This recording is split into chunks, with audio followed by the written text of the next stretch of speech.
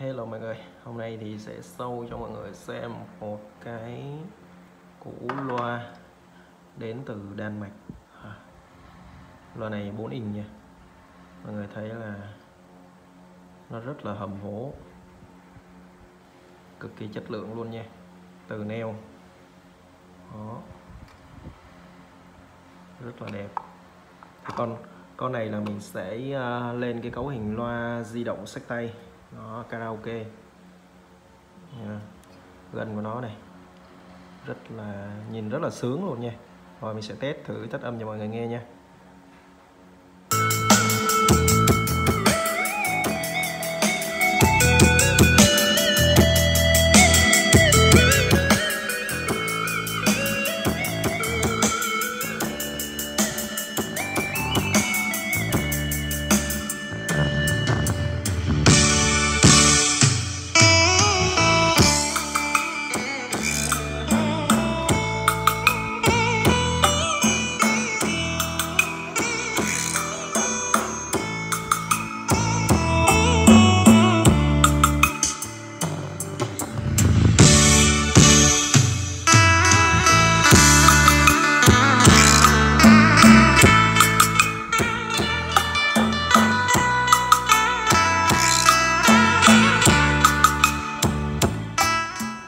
Con này nó là loa mid bass nhưng mà nó thiên về mid tiếng mid nghe rất là hay.